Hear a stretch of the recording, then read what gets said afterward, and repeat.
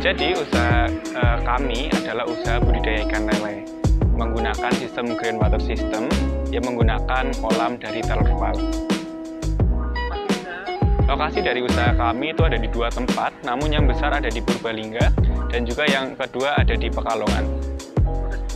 Jadi dalam uh, pembudidayaan ikan lele ini terdapat beberapa tahapan dalam usaha. Yang pertama adalah mempersiapkan kolam. Jadi untuk green water system ini kami menggunakan sistem fermentasi kolam dengan tujuan untuk meminimalisasi kematian yang diakibatkan oleh air yang baru. Kemudian yang kedua adalah proses penyiapan benih.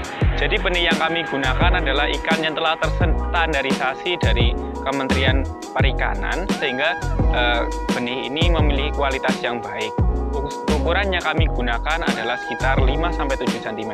Selanjutnya adalah e, proses pensortiran. Jadi setiap satu bulan sekali ikan lele yang sudah ditebar eh, ini akan dilakukan penyortiran. Tujuannya adalah agar ikan-ikan ini memiliki ukuran yang seragam.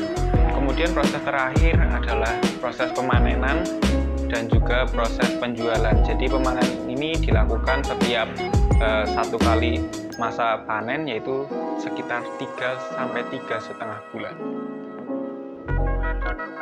Jadi keunggulan dari produk kami adalah ikan yang dihasilkan tidak memiliki bau seperti uh, ikan yang lain. Dalam artian untuk ikan lele biasanya memiliki bau khas seperti bau lumpur.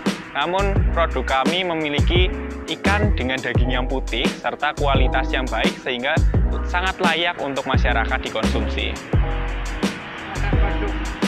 Untuk pemasaran, karena kami sebagai mahasiswa tentu e, memiliki banyak sekali tugas, sehingga untuk pemasaran kami bekerja sama dengan agen-agen e, pedagang besar, sehingga produk yang kami hasilkan nantinya dapat ditampung secara langsung ketika kami panen setiap 3-4 bulan sekali.